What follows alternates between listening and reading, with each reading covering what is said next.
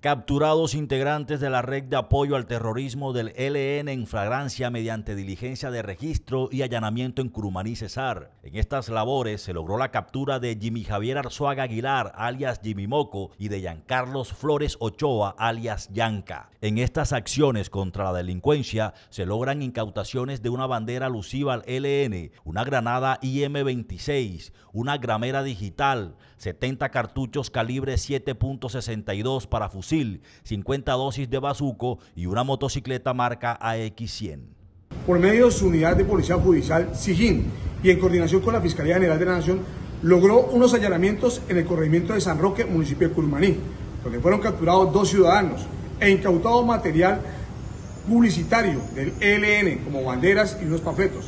De igual manera, se incautaron estupefacientes, unos cartuchos munición de guerra para fusil y de igual manera una granada IM-26. Estas personas fueron puestas a disposición de autoridad competente. De igual manera, tenían anotaciones por porte ilegal de armas, por tráfico de estupefacientes y hurto calificado. Es un honor ser policía.